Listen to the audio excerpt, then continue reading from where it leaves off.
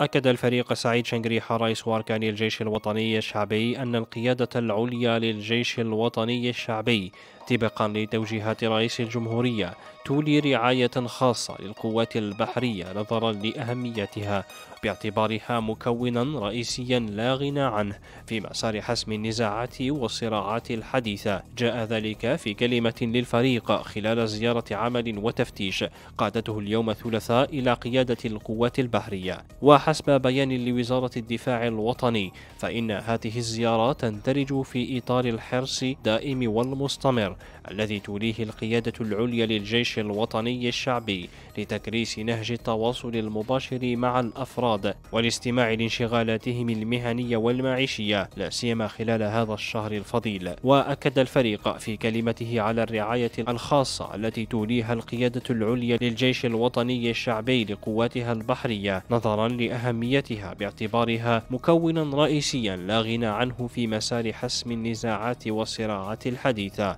وأورد الفريق لقد رسخت الحروب الأخيرة التي شهدها العالم. أهمية القوى البحرية باعتبارها مكونا رئيسيا لا غنى عنه في مسار حسم النزاعات والصراعات الحديثة. وذلك نظرا للخصائص المتفردة لهذه القوة على غرار المرونة والاستقلالية والقدرة العالية على المناورة في عرض البحر مما جعلها سلاحا استراتيجيا وحيويا. كما أضاف الفريق أن هذه الرعاية تتجلى على وجه الخصوص من خلال السهر على الرفع المتواصل للقدرات العملياتية والقتالية لقواتنا البحرية وجعلها قوة رادعة حقيقية كما أن هذه الرعاية يضيف الفريق تهدف أيضا إلى إعادة الاعتبار للبحرية الجزائرية التي عاشت فترة ذهبية في القرون الماضية وكانت تعد دون منازع سيدة البحار الأولى وقوة يحسب لها ألف حساب في حوض البحر الأبيض المتوسط.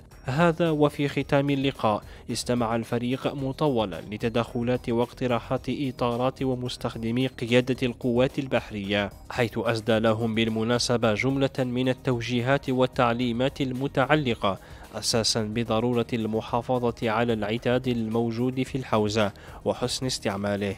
وكذا المثابرة على حماية بلادنا من جميع الآفات الخطيرة على غرار الهجرة الغير الشرعية والمخدرات واستنزاف مواردنا البحرية.